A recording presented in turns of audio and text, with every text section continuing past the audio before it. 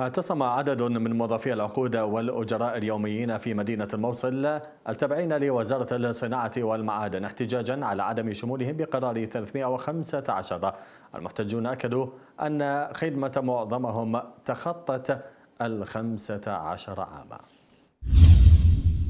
لم يتم انصافنا على قرار 315 ولا على قرار التثبيت اللي عنده خدمة خمس سنوات.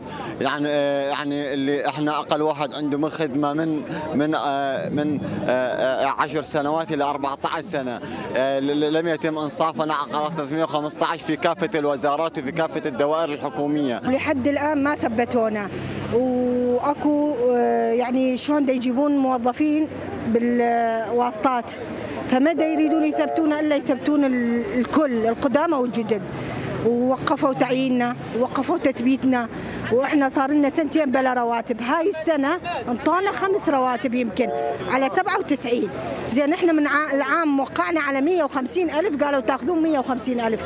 ليش يعطونا 97 يعني إحنا أقل أجر أقل أجر خدمته 12 سنة والعقود 15 سنة وليها سنه تثبيت ولا ولا راتب.